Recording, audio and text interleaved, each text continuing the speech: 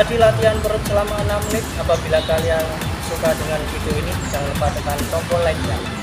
Semoga bermanfaat. Terima kasih sudah menonton. Wassalamualaikum warahmatullahi wabarakatuh. Salam sehat. Mantap.